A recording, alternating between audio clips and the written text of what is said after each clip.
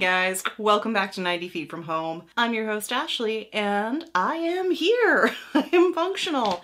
Uh, I am still around. It has been a little bit since I've posted anything and uh, in that absence the world seems to have completely fallen apart in case you guys were living under a rock of some kind. Um, yeah, it's just been kind of hard to get into the motivation to film and to, to do much of anything since there is no baseball and life has no meaning. No, no, no, I'm kidding. Anyway, uh, yeah, it's just been hard to adjust. I'm working from home now from my primary job. Uh, it's a little tougher to get out here where my setup for filming is, uh, is actually my mom's place out in the country because I have a whole studio here. So yeah, that makes it a little tricky to make the two hour drive out of town. Thankfully, we're not on like a hyper lockdown where we're not allowed to go place to place and she and I are the only ones seeing each other. So we're very safe. Uh, I adopted a new cat. That's a whole new thing. He was a stray, took him in. His name's Nemesis. I will throw a picture up here. He's very cute. Um, yeah, so that's what I've been up to. And of course, I've been seeing all your comments and I'm sorry I haven't been replying promptly. It's just there's not really an easy way to do it from my phone. So anyway, I am alive. The channel is alive. New subscribers, it is thrilling to see you. Uh, I am hoping to get up some regular content. It may not be twice a week as usual, but it'll be periodic and I have a couple old episodes that you might see where I'll put a little disclaimer ahead of them and hopefully we'll be able to post some new stuff for you through through all the muck and mire that is this particular scenario.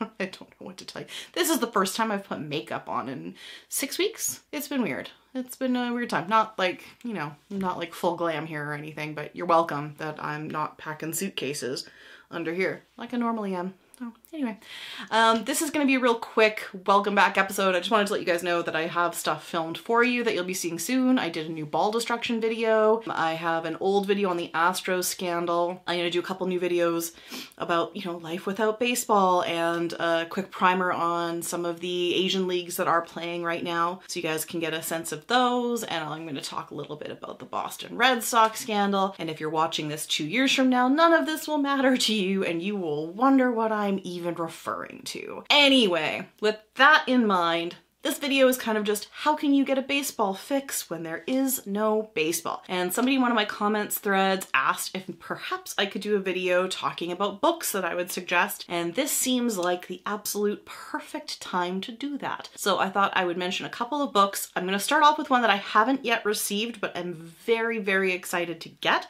and that is the new Keith Law book. It is called The Inside Game. I have pre-ordered it because I did order through an independent bookstore, and books are being kind of deprioritized prioritized as non-essential items for shipment right now. Who would have thought? I think they're fairly essential, but I get it. You know, I get it. I could have just ordered an ebook, but I like physical books. So hopefully I'll be doing a review on that coming up, but I thought I would go through some of my old favorites, some new releases that were really good, but if you liked Keith Law's Smart Baseball, uh, this promises to be very similar and I'm very excited to read it. So without further ado, I will get into the ones I actually have copies of sitting next to me, so that's something to enjoy enjoy. First, I would like to start with a absolute classic. So classic, I paid a dollar for it. Is that where it is? Look at that. It's not gonna focus. Yeah, there we go. I paid a whopping one dollar for this at a used book fair. You can find used copies online at Thrift Books, which I love. They're still shipping right now, somewhat delayed depending on where you are. And yeah, buy books independently if you can. Support your small independent businesses right now. They need your help. Uh, this is, of course, The Summer Game by Roger Angell. Roger Angell is, is Yes, I am checking to make sure Roger Angell is still alive. I haven't been on Twitter in a couple of days. You guys are just lucky I'm not drinking a White Claw right now. Holy Hannah, you guys. Roger Angell is indeed still alive and 99 years old. He hasn't written anything recently, but he was doing regular work for the New Yorker all the way up until I think 2018. He didn't do much in 2019, if anything at all. But yeah, Roger Angell is, I would argue, one of the best baseball writers of all time. One of the best, most poetic, most beautiful voices in baseball that you could ever experience. And if you have never read a Roger Angell book, this is a very good place to start. He was a traveling sports reporter who kind of moved into baseball discussion and essays, and he is an absolutely beautiful prose writer. And I cannot recommend more highly that you pick up a Roger Angell book during this time that we are without baseball to remind you of just how vital and beautiful and incredible baseball is as a sport. And if you're just getting into baseball and you're kind of just a surface fan, I really do suggest reading Roger Angell's work because I think it'll make you feel more deeply what it is that crazy people like me who live and breathe baseball really get out of it. Um, so this would be a number one suggestion if you need something to read right now. Roger Angell, The Summer Game. There are quite a few other Roger Angell books that are very good, all worth picking up, but if you want a place to start, this would be my suggestion. If you are a new baseball fan and you, like me, are very nerdy and love the history of things, George Vecsey's Baseball is a book I read and I think devoured on one flight. Um, and it's just a beautiful, quick, concise overview of baseball as a game. It's incredibly easy to get into. It's very, I mean, it packs, it packs a pretty good punch for a relatively skinny book. So if you don't feel like investing 20 hours of your life watching Ken Burns baseball, which I mean, you maybe should, but you do want to get into how baseball started, how it kind of progressed, the overview version in a very concise way, I would highly, highly recommend this book. Again, it's George Vecsey's Me and Names. There's one coming up in this episode that I actually had to email the writer just to make sure, and I'm still gonna mess it up. Anyway, this is a wonderful history of baseball that is not too, too dense, too overdone. Anyway, quick, concise, very easy to get into history of baseball. Excellent choice. I don't know why I did this to myself, guys. I picked books where there's just no possible way I'm going to get any of these names right. Barry Svrluga's The Grind was actually recently mentioned by Sean Doolittle in a list of books that he's been reading and enjoying about baseball. It is all about the like intense and endless 162 game season and it similarly to some of the other ones I've mentioned right now is a nice quick read.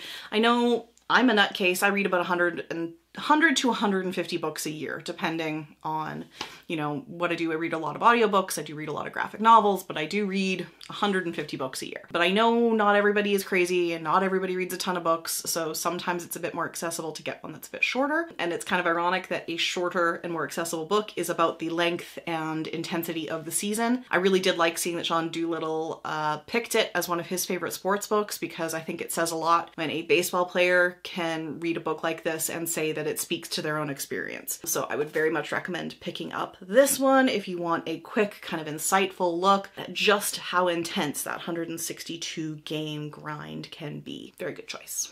This book cover is very shiny and I'm trying to get it so that it doesn't really show or hide itself. Guys, it's been a while since I've filmed and I don't know what anything means anymore. Is my light too far away? Am I just losing it? It's very possible. Hi, did you miss me? I don't know, guys. I don't know how much of this is gonna make it into the video. Who knows? Anyway, Hall of Name by D.B. Firstman is not a book I would suggest trying to read cover to cover in one sitting. This is a book you'll want to leave out on a coffee table, if you're a bathroom reader, maybe throw it in the basket there.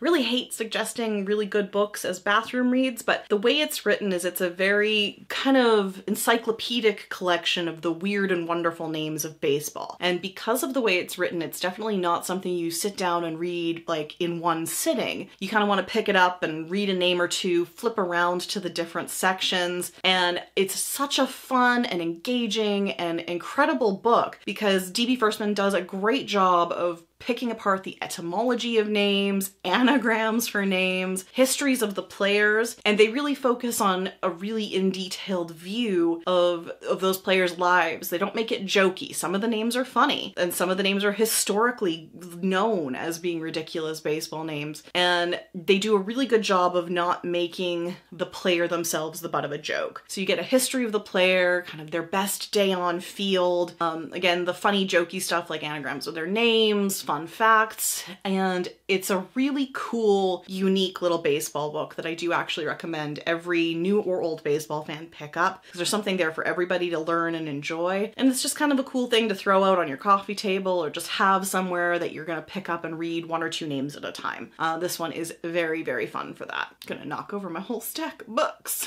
This one this one's actually relatively new and it's called The Wax Pack by Brad Balukjian. And I apologize to Brad if I messed that up. I asked him for a breakdown of his name. He gave it to me. I'm still real bad at this. So my last name is MacLennan and everybody pronounces it wrong and I get mad about it. but I'm I'm just as bad. I am just as bad. Anyway, on to this. This is brand new book. This just came out this year. This is super fun guys. Like, I cannot, I really can't recommend this more highly. It's a really unique baseball book because it's not just, you know, where are they now player histories. The entire conceit of this is that Brad gets himself an old unopened pack of 1984 Topps baseball cards and he eats the gum, bless his heart, and then decides he's gonna go on a road trip to meet all of the players whose cards are in the pack. And of course, it's some lesser known players, some sort of bigger ones, as most baseball card packs are want to do.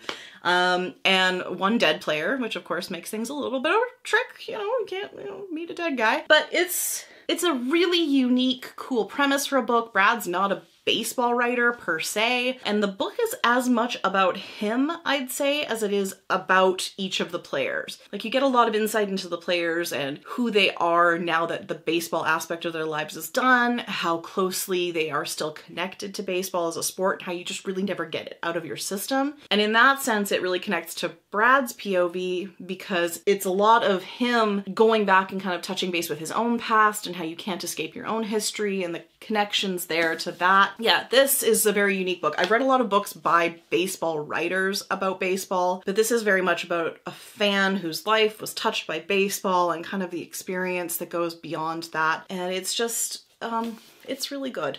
I, if you want something that's a very engaging, sucks you in, not at all dry, funny, great narrative voice, um, this would be a really good suggestion. Uh, and I really do recommend picking this one up. It's a great book to have during this kind of drought because it, A, lets you dream about baseball road trips. Oh, I miss you. I had to cancel mine. And also just lets you kind of go over the past. I think almost every single major league team has a player that is represented here who at least was briefly on one of their teams. I think there's two or three teams that don't get mentioned at all, but for the most part, it's actually very, very thorough. So any fan of any team um, can get some enjoyment out of this, and I do recommend that very well. I'm gonna take my whole pile down with that one. Ooh crash. And of course, it would not be a book recommendation list. And I honestly, I haven't read this one, so I can't tell you if it's good because I literally just got it two days ago. But I've been so excited about this one since they announced it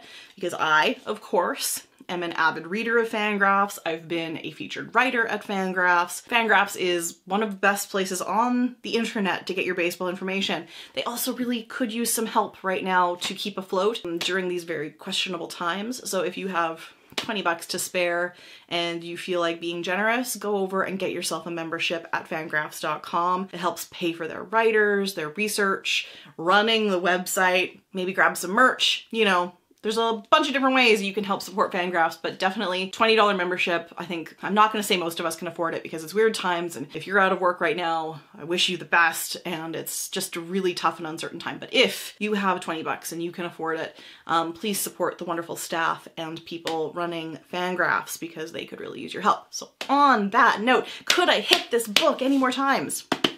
Woo, we're gonna have some fun spikes in the volume later when I edit this. Eric Longenhagen and Kiley McDaniel. Eric is of course still at Fangraphs. Kylie was previously at Fangraphs and is now at ESPN since the aforementioned Keith Law, who also did the foreword for this book, moved from ESPN to The Athletic. Um, let's talk about baseball writer musical chairs yeah, that's fun. Anyway, Eric and Kiley are two of the smartest minds in baseball, especially when it comes to prospects and up and coming baseball players. And they put together Future Value, which is all about predicting baseball's next great star. And I mean, it doesn't get any better than that. Two great baseball writers, great baseball minds, talking about a very important and I think interesting topic. Uh, this is not a thin book, so if you don't want to dive too hard into it, um, maybe not the one for you, but if you like to think about the future of baseball, if prospects are of any interest to you, if the mindset of how baseball teams are created and how players are picked is at all of interest to you, this would be a really good one to grab. Um, so yeah, that one's next on my reading list. And with that, I think that gives you guys a pretty decent list to pick from. I know a lot of places libraries are closed right now, otherwise I would be suggesting libraries. But if you have an Overdrive account through your local library, you can actually take out ebooks and audiobooks, some of which these books are available in. Um, DB Firstman's I would really suggest picking up an actual paperback copy of just because the way it's laid out I think lends itself better to a print copy than an ebook copy and I don't think ebook is yet available for that one. Some of the others though are perfectly fine to pick up in a Kindle or you know Nook format and just enjoy the writing if ebooks are your jam. And yeah, lots of uh, good options there. Uh, if I didn't mention a favorite that you've recently read, please mention it down below in the comments. I know I mentioned a couple others in my Christmas gift guide. Keith Law's first book, Smart Baseball, is in there.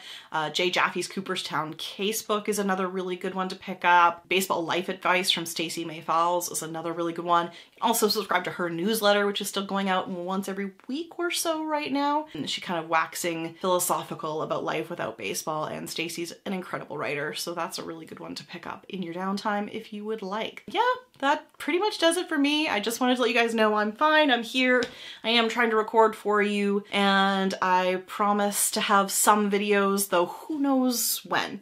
Um, you'll see some older stuff. I'm just gonna record some bumpers for that to kind of let people know it was recorded pre-COVID. And yeah, I'll be back. I did a video deconstructing a baseball. That'll be up later this week. Uh, so you have that to look forward to. And yeah, anything new and exciting. If you have anything you want me to record videos on right now, leave a comment down below about that. Uh, I'd love to do by request videos for you guys right now. Well, I have no baseball to watch. That's it. I don't have much else for you. I hope you guys are safe and healthy and well, thinking of each and every one of you, and I hope to see you guys at a baseball game in the future very, very soon. So come back next time, hit that subscribe button down below if you feel like it, hit the thumbs up if you liked this, or just if you want to make me feel nice, that's, that's cool too. I don't know. And yeah, just leave a comment, say hi, tell me you guys are doing okay, and we will chat very, very soon. We'll see you again. Bye!